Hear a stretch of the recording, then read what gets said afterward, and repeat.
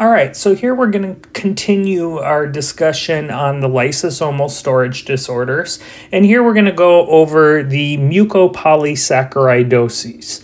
Now, the nice thing about this is that there's no biochemical pathway that you need to memorize.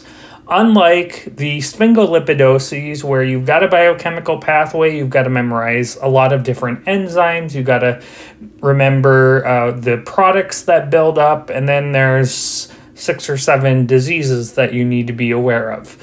For this, there's only two. There's no biochemical pathway that you need to remember. For the most part, you need to understand the manifestations of these disorders, how to distinguish the two, the enzymes that are involved, and that's pretty much it. So this is fairly straightforward stuff here.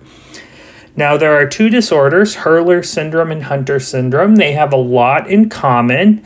Uh, the major differences are what the USMLE is going to hammer on.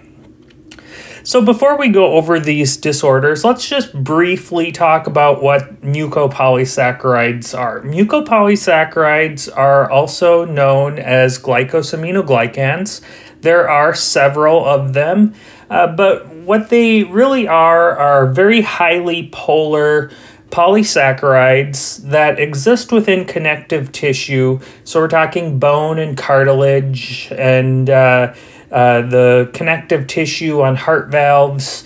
Uh, and so when these are, uh, when they build up, they cause defects of those tissues. Uh, and so that's really where the manifestations are going to be. So, first of all, what do Hurler and Hunter syndrome have in common? Well, the major thing is these uh, the this facial. I don't know if you want to call it a defect, but uh, this these facial manifestations that show up in children, and this is called gargoylism. Now, gargoylism is kind of an outdated term, but I included it here because it kind of helps you remember uh, how this looks. Now, another way to think of it is that the facial appearance of these patients bears a striking resemblance to the facial appearance of adults who have acromegaly. Now, it's a complete that's a completely different disorder with a com- very very different uh, pathophysiology, but the appearance is pretty similar. So we're talking here about frontal bossing we're talking about very prominent facial bones. Uh, there's a flattened nasal bridge, hypertelorism, and macroglossia, or an enlarged tongue.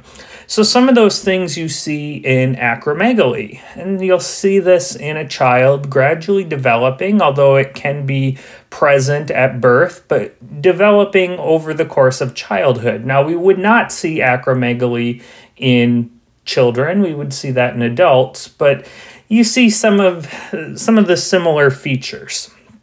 Now, another thing um, that you're going to see that these two have in common is the collection of mucopolysaccharides because we're unable to degrade them. And so those mucopolysaccharides are chiefly heparan sulfate and dermatan sulfate. So, those are the two things that these disorders have in common. Now, what is different? Well, for Hurler syndrome, it's a little bit uh, more severe as far as the gargoylism goes. Um, they're going to have also corneal clouding. Now, that's just due to the fact that in the cornea are mucopolysaccharides. So, because it's a little bit more severe, uh, they have ocular manifestations. You can also get hepatosplenomegaly with Hurler syndrome, and because of the more severe facial uh, issues, uh, you can get airway obstruction.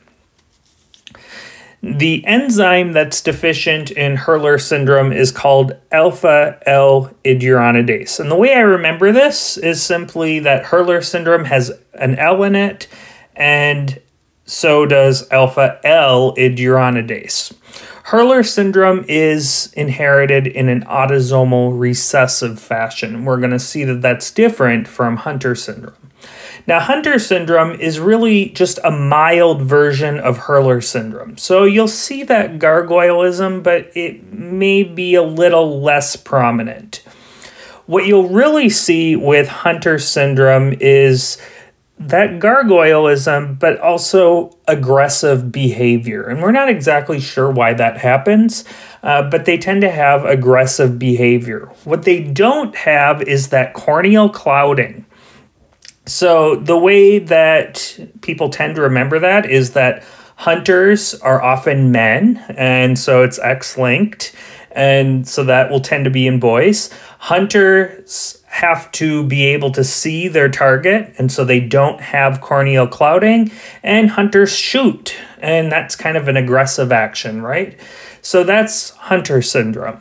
And so, really, that's it. Hurler syndrome and Hunter syndrome, those are the two mucopolysaccharidoses. Remember that heparan sulfate and dermatan sulfate, which are mucopolysaccharides, will accumulate. And then remember that Hurler syndrome uh, and Hunter syndrome both have gargoylism, which looks a lot like acromegaly in the face. Hurler syndrome will have corneal clouding and hepatosplenomegaly, whereas Hunter syndrome will have normalized but aggressive behavior. And that's really it for the mucopolysaccharidoses.